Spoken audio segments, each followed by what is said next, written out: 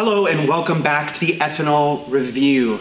I'm here at the alcohol shrine that is Liquor Express, our sponsor of this episode. Thank you, Liquor Express. You fucking rock. Anyway, tis the season for pumpkin beer, so today I'm going to do a blind pumpkin beer tasting. Six different beers, maybe seven, definitely six. And we're gonna find out which one of these guys has the best juice without the fancy pumpkin labeling. Normally, I'm not one for pumpkin beers with a few exceptions. There are certain barrel aged variants and imperial pumpkin beers that are actually fantastic and age really, really well. For example, Rum King. That's a super imperial pumpkin beer that's aged in rum barrels from Southern Tier. I think that Liquor Express may carry it. They did a few weeks ago. I'm not sure if they still have it or not, but that is an awesome pumpkin beer. These other six, though, or seven that I'm gonna try, I have had none of them, and they are mid range ABV, pretty run of the mill, theoretically, pumpkin beers. So I'm gonna rank them, write them all down for you, and we're gonna discuss which one of these is the best, which one's the worst, which ones are okay. See you in the episode.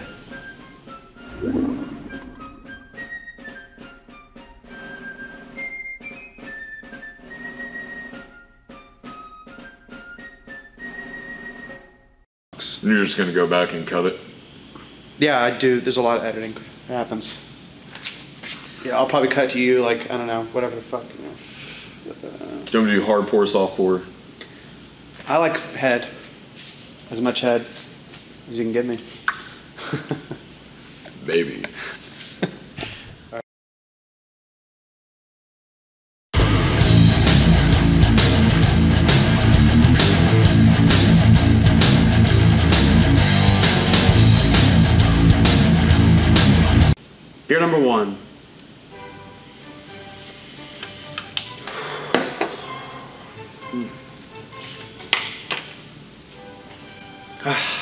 Lots of baking spice and brown sugar, allspice, nutmeg. There's a nice bready maltiness to it, which is good. That's a treat. It's not all spice, which happens sometimes with shitty pumpkin beers.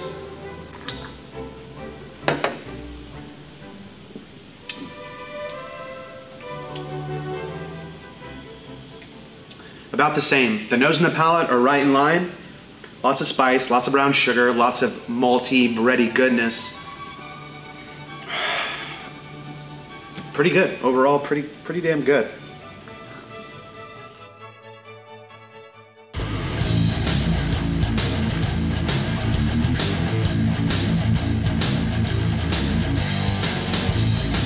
Number two.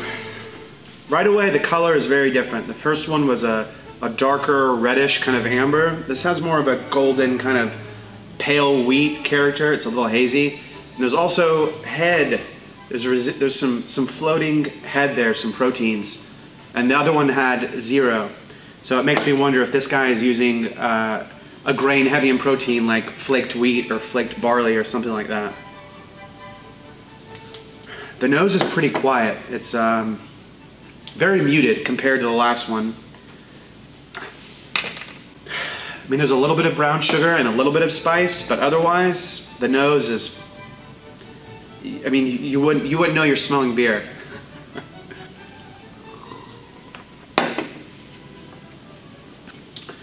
There's a lot of spice in the palate, kind of like burning that that amount of spice where it kind of it makes me think of the burn of ginger, like almost like capsaicin. Not very good. the nose is very poor, and the palate is just one dimension of this heavy spice.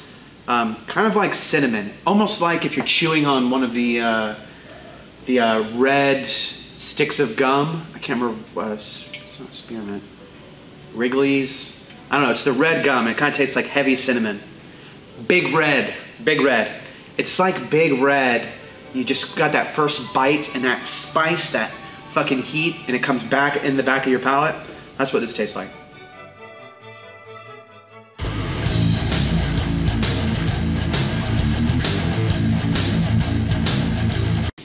Number three. This is more akin to the first one in the color. See how it's a bit more amber. I don't know if you can pick it up in this lighting or not. Uh, a, a, deeper red hue, like right in the center, uh, which I think that may be good. Usually that indicates, not always, a maltier character. Some of the more malty grains tend to have a reddish hue to them. The spice here is restrained, and it's more akin to the first one, but with less spice, more malt, this one actually kind of smells like real pumpkin, a little bit, like a slightly roasted pumpkin. if you've ever smelled pumpkin just raw, it can smell like a lot of other starches, right? When you roast the pumpkin, you caramelize some of the natural sugars, that's when you actually get the essence of what a pumpkin is.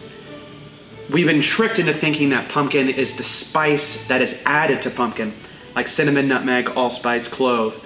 But really, pumpkin has its own character. I think this one has actually a little bit of real pumpkin in it. Really good aroma.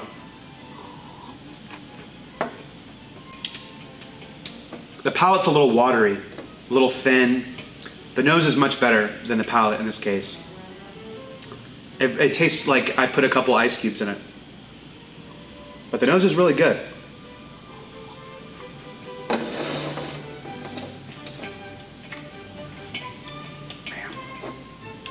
It was so promising, and it just failed on the palate. That's too bad.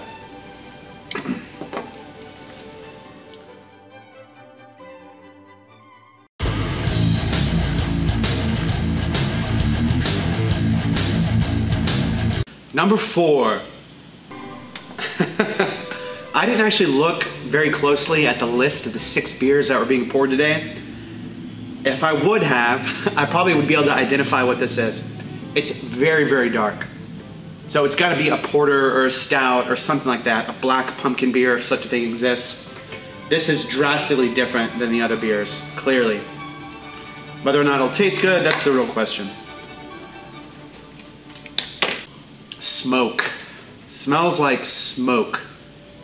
yeah, it smells like a smoked stout. Um, you know, coffee and dark, deep chocolate and smoke.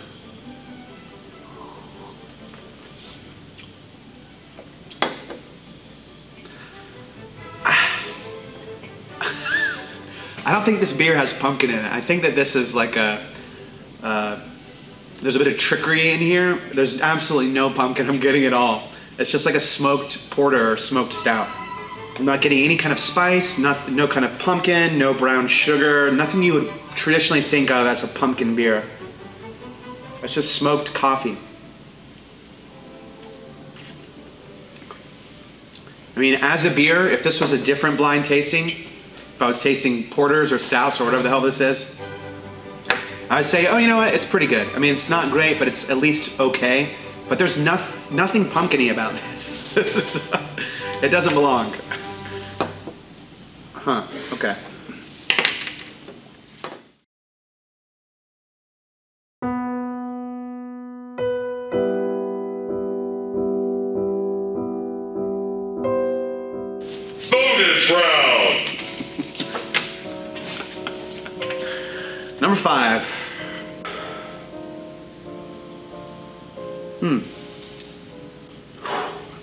This one smells different than all the other ones. It's like there's a spice in there that doesn't belong to your typical spice cabinet for pumpkin beer. Almost reminds me of a. Uh, it's not garam masala, it's like an Indian spice. Unusual. The nose is good, it's just unlike all the others. Not counting the fucking porter thing, whatever that was.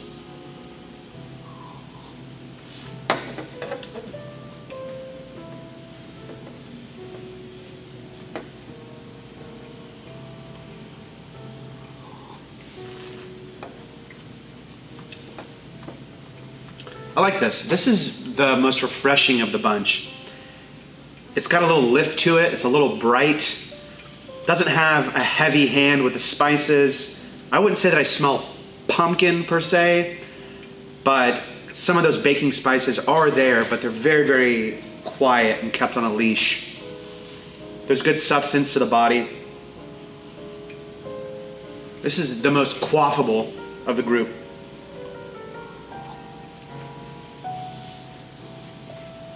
Got a good head. This one's not bad. It doesn't taste like a traditional pumpkin beer though. But I think that's a good thing.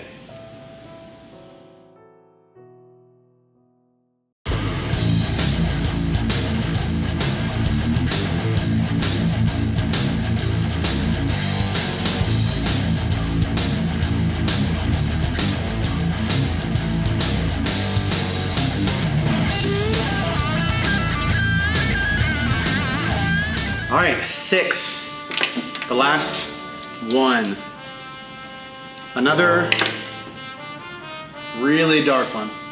So I suspect this is a pumpkin porter or pumpkin stout. Hopefully it resembles pumpkin. At least a fucking smidge. It's so hard for pumpkin or pumpkin spice to come through though when you have such a heavy charactered style of beer like a porter or a stout. This one smells like a, a stout to me. Because all you really can get is chocolate and fucking coffee. There's a little something hiding back there, like far, far, far tucked away down in there.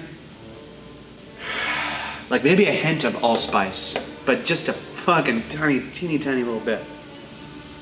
But it smells like a good stout.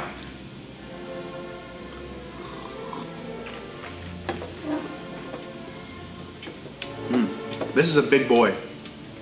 There's some uh, there's some alcohol in there, some some weight. Just like the other dark one though, I wouldn't just think this is a pumpkin beer. I kind of like it, but it just is out of place here. It doesn't make any sense within this this uh, this tasting we're doing. It's pretty good. It's heavy. You taste the booze is there, the heat is there. It tastes like a 12% alcohol beer. I mean, that's the that's the feeling it kind of gives me.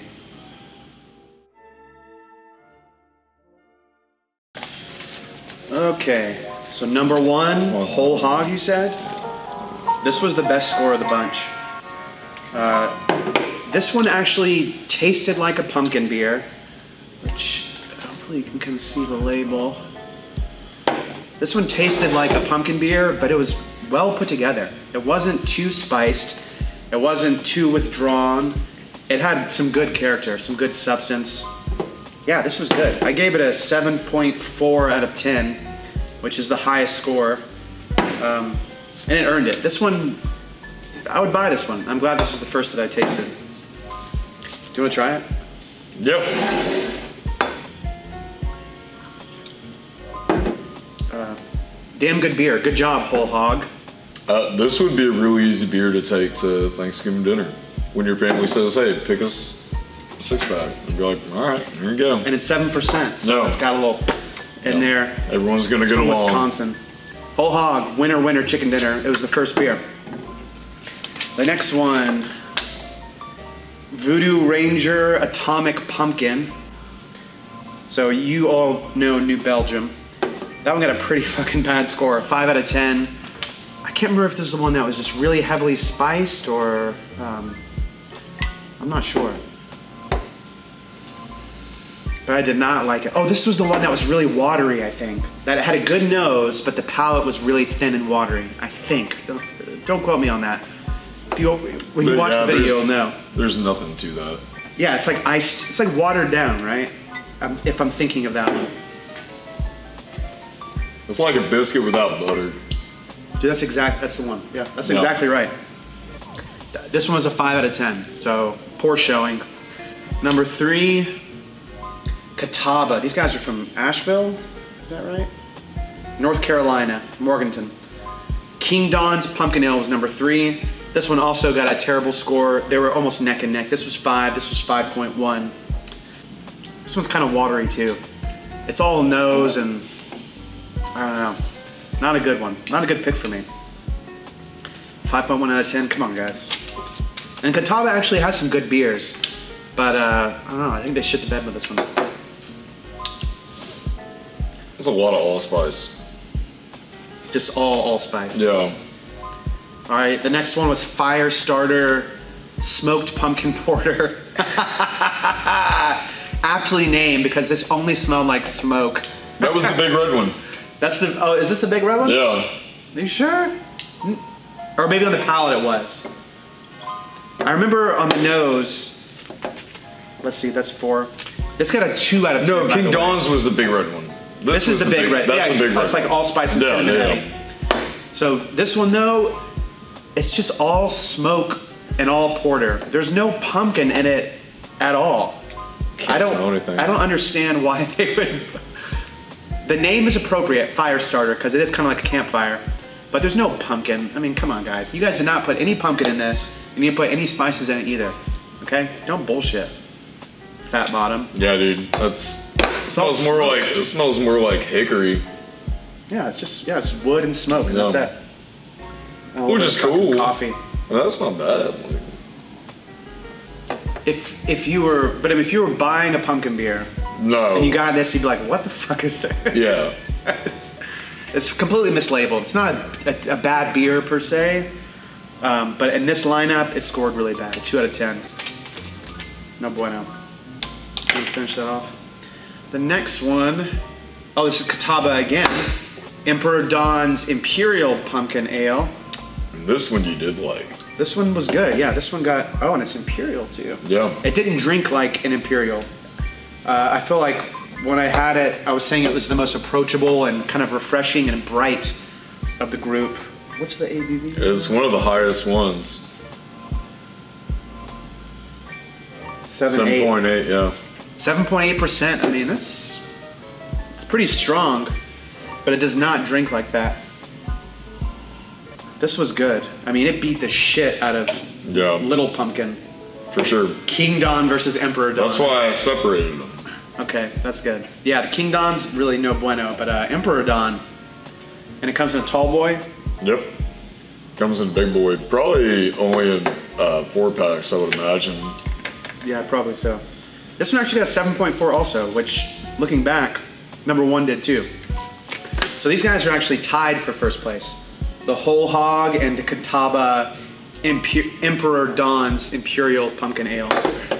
Now, Um, the, the, neck and neck. the final boss. Yeah. Fucking Prairie. I should have known. Prairie's Basic Becky, which you know, Prairie is known for making just fucking big, giant ass beers, like Birthday Bomb. And uh, this was a giant beer, but it was so boozy and just fucking intense and heavy that all of the nuance of any fucking semblance of pumpkin or pumpkin spice was just kind of lost for me. It just tastes like fucking boozy stout. It's like everything they make is fucking molasses. Yeah, and it's always yeah, just heavy fucking Just thick. intense. It's like- punch you in the fucking mouth. You just ate dinner. Yeah, it You is. just like a, drank dinner. it's like a fucking entree.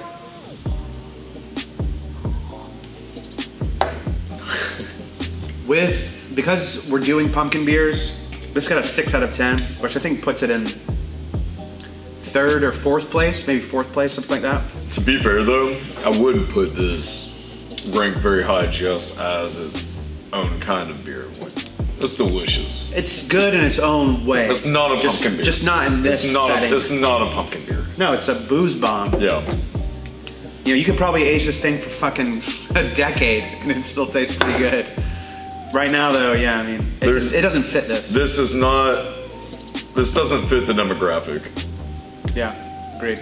Even calling it basic Becky, they're trying to hit that market, Yeah. and that's that's unfortunate that they did that because your basic Becky is not going to drink this. Your basic Becky would fucking spit this out. And her she would say, I don't drink beer. She would take one sip, and her husband would finish it. That's right. Well, Becky's not married, obviously. Oh yeah. Well, she's been married a couple times. yeah, She's been married. All right, so there you have it. Whole Hog and Emperor Don. These are the winners today. Catawba, Emperor Don, and Whole Hog. They just call it pumpkin ale, and that's appropriate because that's exactly what it fucking is. And it's a good one at that. The other ones, not in the right category and just bad versions of what we're doing here. So now you know. Thanks to my fucking boy here. Gonna get some fucking whole hog. My boy Johnny here, thank you. And I'll see you guys next week. Cheers.